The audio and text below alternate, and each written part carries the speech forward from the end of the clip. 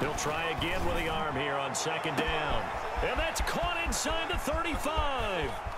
Touchdown, Jaguars.